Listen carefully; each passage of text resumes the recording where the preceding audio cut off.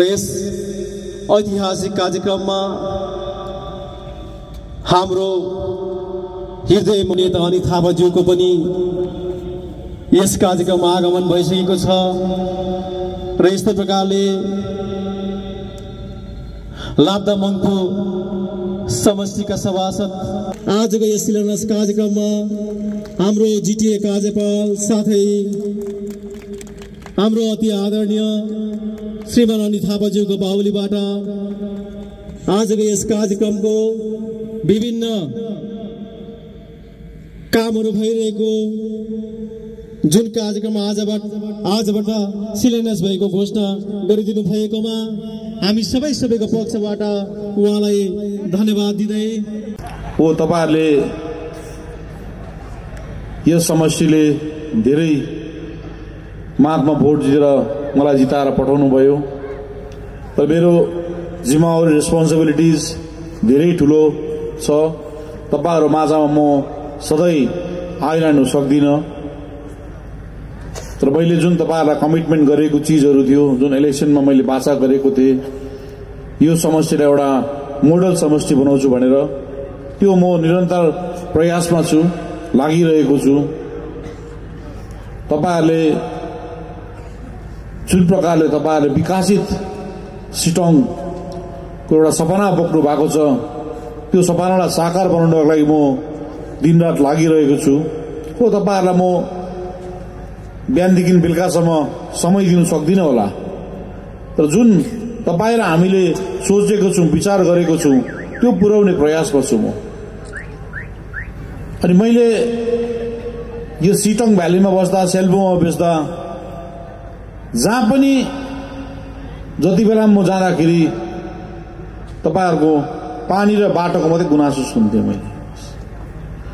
अनि यो सेल्पुको त झन् पानी त कहानी नै भइसकेको थियो। जति बेला पनि धेरै सायद त्यो जिएनएलएफको टाइमदेखि होला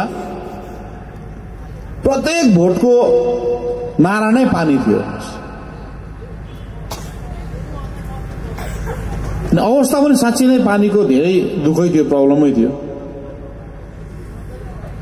सेल्पु एरियामा धेरै दुःख थियो पानीको। र धेरै कमिटमेन्टहरू भयो धेरै कुराहरू गरेँ। तर मैले विगतको इलेक्सन अगाडि नै जिटिएको तर्फबाट पानीको कोष आवन्टित गरेर छुट्टिएर सायद तपाईँहरूलाई सफिसियन्ट पानी होइन। काहीँ न काहीँ अलिअलि भए पनि पुग्ने पानी चाहिँ बन्दोबस्त गरिदिइसकेको थिएँ। तर त्यो पानीले झगडा होला जस्तो भएछ यहाँ त हुँदै नहुँदाखेरि यताउति गरेर पनि खान्थ्यो। भइसकेपछि फेरि तँलाई बेसी मलाई बेसी भन्ने हाम्रो मान्छेको आदत छ हेर्नुहोस्। त्यो पानीले गर्दाखेरि कसको छेउमा कल लाग्यो कसको छेउमा लागेन भन्ने एक प्रकारको सिर्जना सुरु भइसकेको रहेछ। तर तपाईँहरू अब सुर्ताउनु पर्दैन। त्योभन्दा पनि ठुलो प्रोजेक्ट यस समष्टिमा आइसकेको छ र प्रत्येक घरमा नै तपाईँहरूले पानी पाउनुहुन्छ। र पानी भन्ने कुरा चाहिँ नारी जातिलाई थाहा हुन्छ हेर्नुहोस्। उहाँले बिहानदेखि नै उठेकोदेखि नै पानीसँग जुडित छन् र सुतेको समय हो। सुत्नुभन्दा अगाडि भाँडा धेरै सुत्नुपर्छ। र पानी नहुँदा र हुँदामा चाहिँ उहाँहरूलाई कति फरक पर्छ उहाँहरूलाई थाहा छ हेर्नुहोस्। उहाँहरूको कति टाइम सेभ हुन्छ। र कति कामहरू अगाडि बढेर जान्छ त्यो उहाँहरूलाई थाहा छ। अनि यो भ्याली भनेको एउटा टुरिज्म सेक्टरलाई छोएको भ्याली हो। होमस्टे धेरै प्रचलित भएर गइरहेको छ। टुरिस्टहरू एट्र्याक्ट भइरहेको छ। र टुरिज्मको मेन ब्याकबोनै पानी हो। र पानी छैन भने त्यो टुरिज्म फ्लोरिस भएर जाँदैन। यसरी नै अब लाटपन्जार भयो।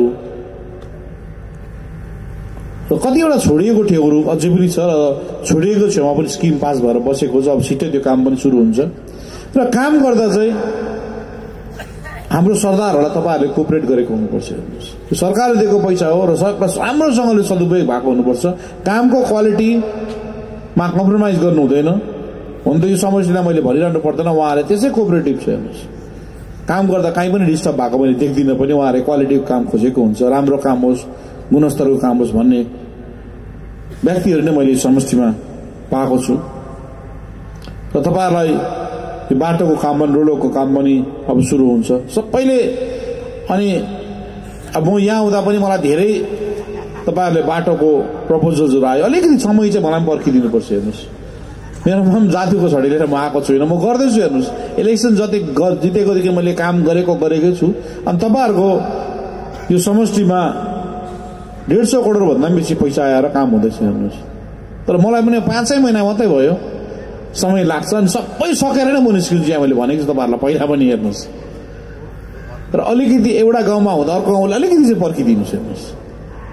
तर गर्नु चाहिँ गर्छु तर पर्खिने तपाईँहरूको पनि धैर्य हुनुपर्छ। यत्रो वर्ष नभए काम ब्याकलग भएर बसेको अब गर्दै लाँदाखेरि हामीलाई पनि गाह्रो पर्छ। अनि मैले सबै यही समस्यामा मात्रै मैले पैसा दिनु पनि सक्दिनँ अरू समस्याहरूले मलाई हेरिरहेको हुन्छ हेर्नुहोस्।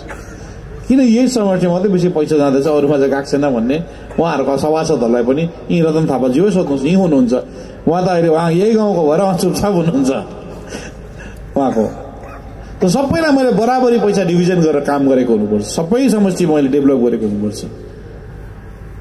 यसैले जुन प्रकारले यस समस्यालाई हामीले अगाडि बढाएर लाने सोच गरेको छौँ र यो सोचलाई तपाईँ हामी मिलेर नै सबै एकता युनिटी भएर नै हामी अगाडि जानुपर्छ। कसैलाई नछुटाइकन कसैलाई लाखापाखा नगरिकन यो समस्यालाई अगाडि ल्याउँछु यो समस्या धेरै प्रोग्रेसिभ हुन्छ हेर्नुहोस्। त्यसै पनि प्रोग्रेसको स्पिड गति एकदमै अगाडि छ र अझै अगाडि लानु छ। त्यसको लागि हामी सबै मिलेर काम गरेर नताली धैर्यसँगले काम गऱ्यो सबै राम्रो भएर जान्छ। अनि मैले एउटा नानी देखेँ। धेरै राम्रो गीत गाउने रहेछ। अनि उहाँको मैले कहानी पनि सुने। उहाँलाई बाबा आमा बाबा सायद खस्नु भएको रहेछ नानीको आमा रहेनरहेछ र मैले उहाँको फ्यामिलीले हाम्रो लिडरलाई भनेको छु। र उहाँको फ्यामिलीले मान्छन् भने त्यो नानीलाई म जिम्मावरी लिएर उहाँको एडुकेसन सेक्टरदेखि आफ्नो एउटा परिवारमा सामेल गरेर म अगाडि लान्छु। र उहाँ तपाईँहरूको समष्टि कमिटीको लिडरहरूले सल्लाह गर्नुहोस्।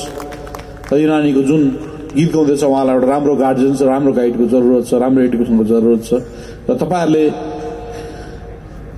गएर सल्लाह गरेर गाउँघरमा उहाँहरू बुझेर सम्झेर त उहाँहरूले अग्री गर्नुभयो भने यो नानीको जिम्मावरी म लिन्छु। र आउने दिनमा तपाईँहरूलाई जे जे तपाईँहरूको डिमान्ड छ मलाई बिस्तारो बिस्तारोसँगले म अगाडि काम गर्छु र तपाईँहरूले विश्वास राख्नुहोस् भरोसा राख्नुहोस्।